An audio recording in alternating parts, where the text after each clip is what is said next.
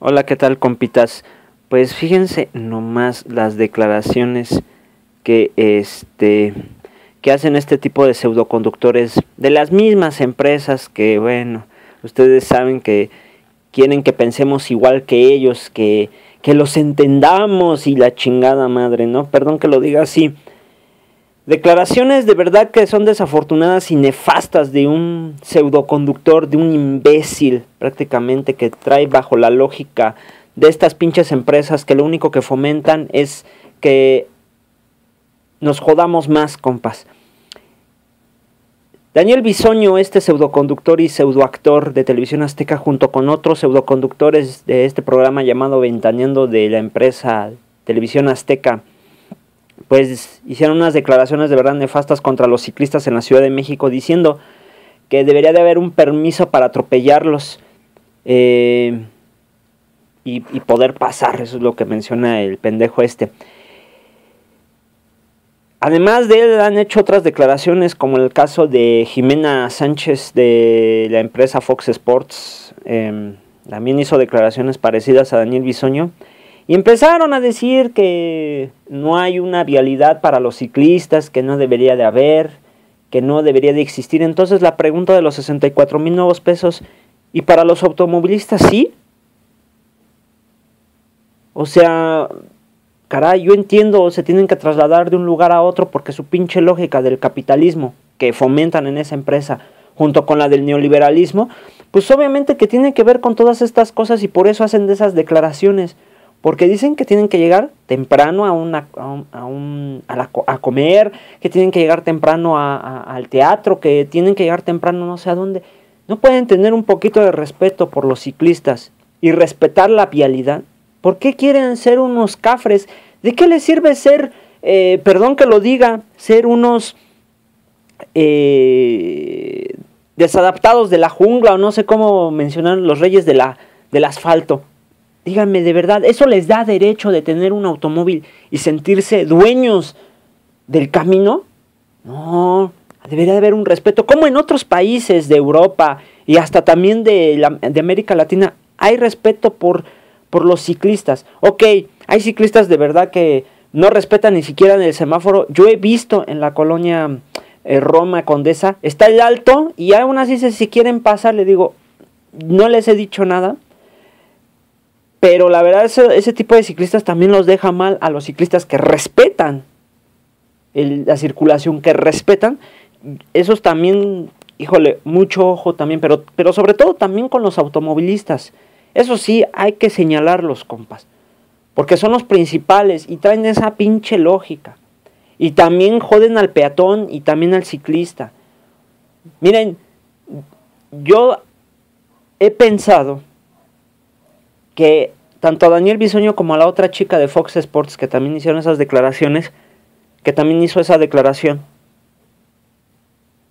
está detrás de una empresa automotriz. Yo no lo dudaría que lo estén patrocinando y por ahí, pues, oye, pues aquí como que vamos a polemizar, pero también pueden usarlo como cortina de humo para otras situaciones. Yo nada más les estoy comentando desde una visión un poco más profunda. Ya si alguien puede rematarlo, adelante.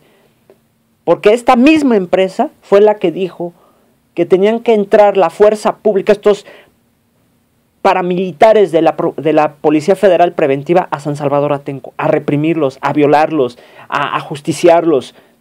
¿Se acuerdan del 2006? Pues es la misma empresa, caray, TV Azteca. El, también el que le dijo a Alejandro Villalbazo, pues di que, que golpeen a los maestros, que, que, los golpeen ahí en Tepito. El mismo, el mismo, también trabaja ahí el, el, el porro este de Alejandro Villalbazo, ¿no? Entonces no es nuevo que estos cabrones se salgan con la suya diciendo, es que la libertad de expresión, pues nunca dan libertad de réplica, jamás la han dado. Y todavía piden libertad de expresión. Vaya, a ver, yo quiero ver y quiero escuchar que haya una réplica a los ciclistas. No la hay, no existe, no sé qué está pasando, no sé quién los está comprando, no sé, pero sabemos que están bajo esa misma lógica como siempre. Y eso es lo que hace que el país siga en la misma situación, que no haya respeto, que no haya valores, que les valga madres, que haya libertinaje y, malinterpreten la libertad de expresión solamente para unos cuantos, como para estos pendejos. Entonces, aunque haya derecho de réplica y se lo diga su jefa Pati Chapoy, que no estuvo en esa eh, eh, en la conducción de ayer, aunque haya una réplica, no le vamos a creer porque ya sabemos su manera de pensar de este pendejo. Y bueno, pues este es el ejemplo de lo que hay en México. Los políticos, los empresarios así piensan, ¿eh? Es un ejemplo y está bajo esa lógica. Ojo, hay que detener a como dé lugar este tipo de pensamiento. No caer en violencia, pero sí protestar, no solamente por esto, por todo lo que está pasando. Y la Ciudad de México ha dejado de ser segura. El transporte público es nefasto, por eso luego prefieren el automóvil porque no quieren ir en transporte público. Ni estos cabrones se atreven a subirse a un metrobús y todavía lo critica. ¿Sí? Yo sé que el metrobús está fallando, pero caray, los microbuses, la ruta 100, pues también, híjole, no, no les daban mantenimiento, no les daban eh, eh, fluidez, no respetaban los señalamientos. El Metrobús todavía sí, pero está mal trazado. Eso es, ese es el problema.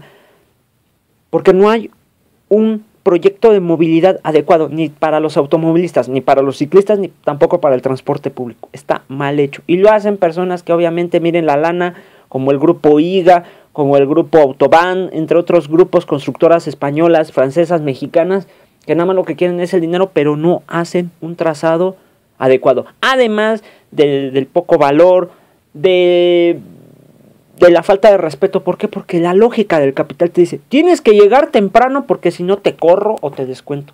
En lugar de tener un poco de, pues de flexibilidad ante esas cosas, pero no las hay, son unos...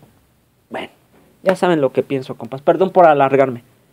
Eh, de verdad, nefasto estas declaraciones.